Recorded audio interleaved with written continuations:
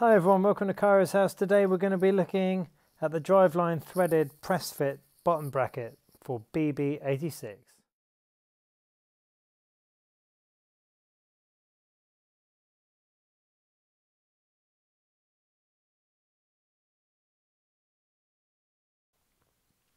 Okay, let's get into it. Uh, I bought this from Amazon.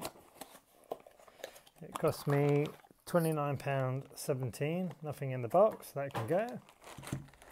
Let's empty it out. So we've got some, that's quite flimsy, and that's really thick and tough. No, don't know what they are. We'll have a look. So basically you put it through your frame, and I'm assuming you screw it up both ways until it uh, bottoms out against the frame. That actually screws in really far. Wow, that's impressive.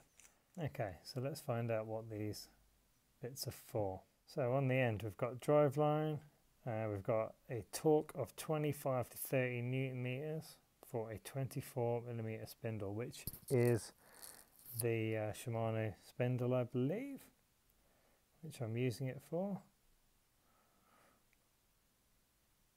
That's pretty cool. That thread goes all the way back in there. So it basically goes until it bottoms out against the bearing.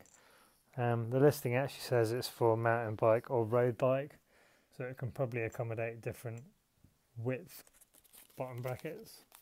Okay, so looking at the instructions and the bag that I've got with the code name BB841TS41, I can't actually see a TS41, but I can see a BB841T41, um, and it says road no spacer. Okay, um, so these little bad boys are spacers. There's uh, different spacers for different applications.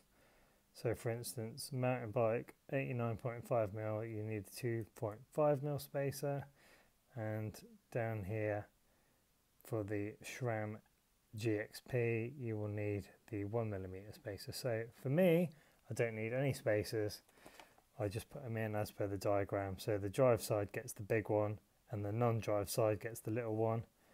A little bit of grease on the threads. So I'll be putting copper grease on those and then fire it in. So we've got drive side, non-drive side, put them together make sure the threads line up and tighten to 25 to 30 newton meters which is tight. Tighten off so it doesn't move. These are covers on the bearings. If I can pop them off we can try and see which bearings it's got. Okay so we've got a black seal. So we've got a code. So we've got Takino. Not a brand I've heard of. And we've also got a number 24377RS. Okay, so it's back in. Let's give it away, as we always do. So the uh, complete unit is 99 grams. That's actually um, pretty cool. Thanks for watching. Thanks for subscribing. Um, give us a like if you like the video and we'll see you on the next Kyro's house. Take care, bye!